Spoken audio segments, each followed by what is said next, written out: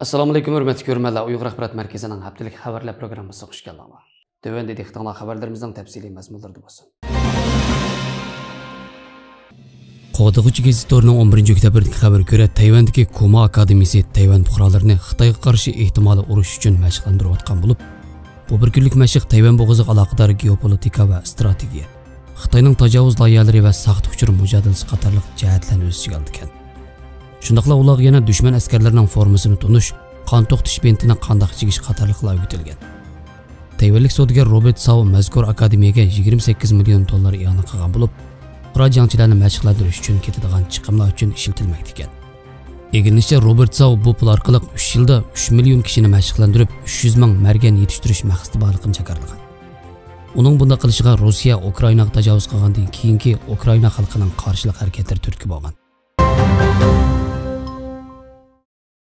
The Pochta Imstore'ның 11-нче октябрьдәге хәбәр керәк Голландиядә яшәйдиган 21 яшьлек Хытай өктиче Ваң Чингю якын кайлада өзенең изчил Хытай жасусларының паракендичилиге учрап атканлыгын белдергән.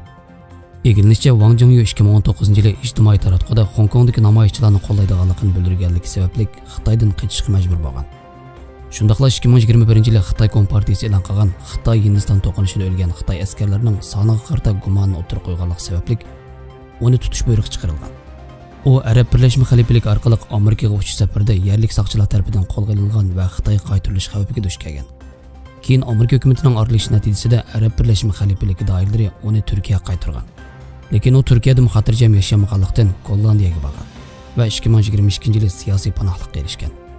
Uning bildirishicha xitoy doiralari uning shaxsiy uchurlaridan foydalanib gollandiya belgiya germaniya va kanada qatorliq joylardagi mehmonxonalarga yolg'on bomba tahdid qitab etgan va bu orqali uni chet elda qo'lga oldirmoqchi bo'lgan.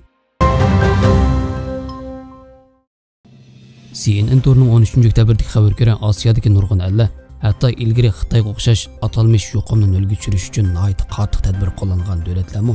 Tojismon virus vabosi mezgilidagi cheklash tadbirlaridan voz kechgan bo'lsimi ammo Xitoy hali ham o'zining mazkur siyosatini asabiylashga ijro qilmoqda. Va shu sababli o'z fuqarolarining borgan sari kuchli norozilik duch kelmoqda.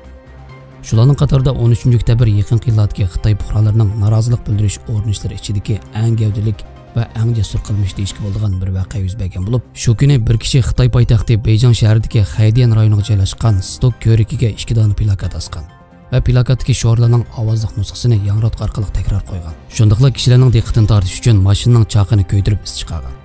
Plakatdagi shiorlar Xitoyning navbatdagi siyosiy atmosferasiga nisbatan favqulodda dodil deyishga bo'ladigan darajada bo'lib, mazmuni tuvandikicha.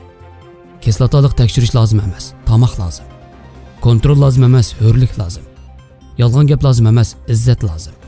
Madaniyat inqilobi lozim emas islohot lozim. Dahi lozim emas saylam huquqi lozim. Dars tashlab ish tashlab mustabid vatan xoini shi zinponni og'dirib tashlaylik. Qo'zg'al qo'l bo'lishni xohlamaganlar mustabidlikka diktatorga qarshi turib xitoyni qutqizaylik. Har odam bilet tashlab rais saylab chiqaylik. Mazkur jasurona qarshilik harakatini qiluvchining ping Lifa ismli bir Xitoy fuqarosi ekanligi faraz qilingan bo'lsa-mu, hozirgacha aniq dalillanmagan.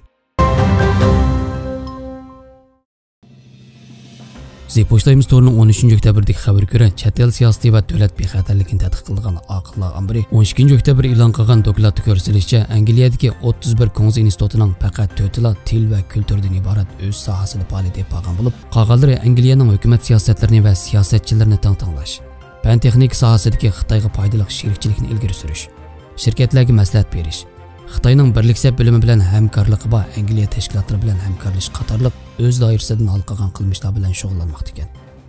Holbuki yaqinda angliyaning harbiy istixborot 5 boshqarmasi xitoy birliksab bilimining angliyaning ichki ishlariga mudofaa qilishga urinayotganligini ta'kidlagan edi.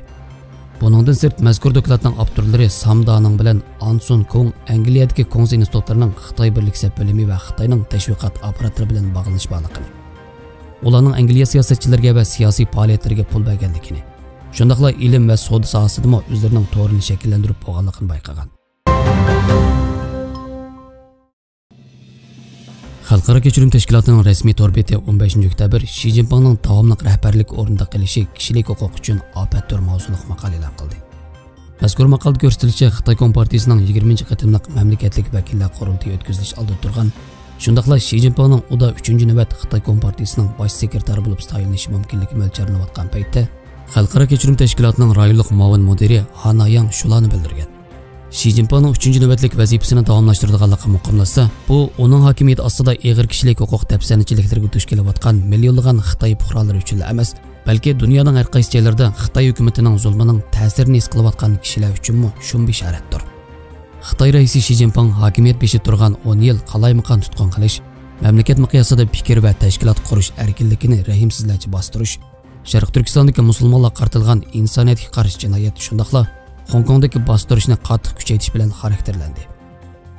Xi Jinping hokimiyati ostida Xitoy hukumatining siyosatlari va qilmishlari davlat ichiga emas, balki butkul yer shariga nisbatan tahdid shakllantirdi. Hukumatning chet eldagi Uyg'urlarni jimiqtirish va majburiy qaytarib ketish harakatlaridan Birlashgan Davlatlar Tashkilotida kishilik huquqining asli ma'nosini burmalashga o'rnishigacha Xitoyning zulmi o'z chegarasidan bargan sir olqib ketdi. Xabarlarimizni ko'rganingizga rahmat. Ko'rishguncha omon bo'linglar. Xayr xo'sh. Allohga omonat.